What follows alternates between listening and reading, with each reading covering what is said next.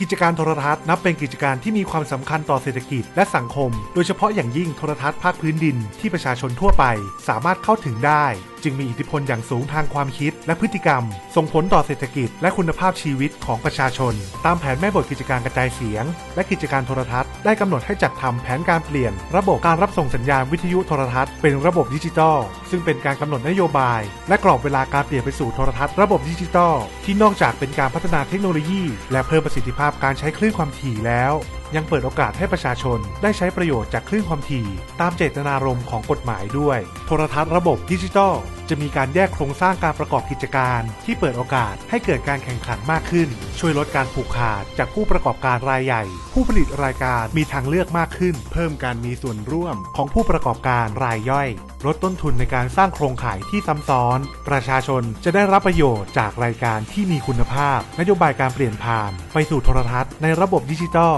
ด้านเทคโนโลยีกำหนดให้ ใช้ระบบ DVB T2 เป็นมาตรฐานโทรทัศน์ ระบบดิจิตอลของประเทศไทยมีช่องช่องรายการทั้งแบบความคมชัดปกติ และแบบความคมชัดสูง ใช้มาตรฐาน MPEG 4สำหรับการบีบอัดสัญญาณภาพและเสียง และให้มีมาตรการรองรับการแจ้งภัยพิบัติ หรือเหตุฉุกเฉินได้อย่างรวดเร็ว ด้านการวางแผนความถี่กำหนดให้ใช้ย่านความถี่ UHF ทั้งในลักษณะ Single Frequency Network และ Multi Frequency Network ใช้โครงข่าย และสิ่งอำนวยความสะดวกที่มีอยู่เดิม ให้เกิดประโยชน์สูงสุด และสามารถให้บริการได้ทั้งในระดับชาติ ภูมิภาค และท้องถิ่น ด้านการอนุญาตให้ใช้คลื่นความถี่ และการประกอบกิจการกำหนดให้มี 4 ลักษณะกิจการคือ บริการโครงข่าย บริการสิ่งอำนวยความสะดวก บริการโทรทัศน์ และบริการแบบประยุกต์ โดยแบ่งการอนุญาตให้ใช้คลื่นความถี่ ในการให้บริการออกเป็น กิจการทางธุรกิจ บริการสาธารณะ และบริการชุมชน ทั้งนี้ในปีพุทธศักราช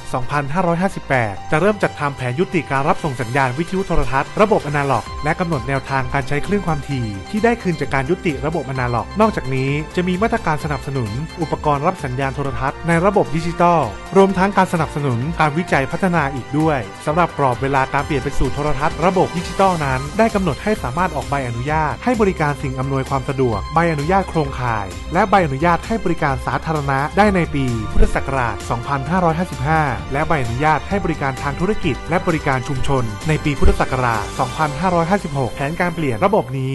นับเป็นการกำหนดทิศทางการก้าวสู่โทรทัศน์ระบบดิจิตอลและการพัฒนากิจการโทรทัศน์ของประเทศไทย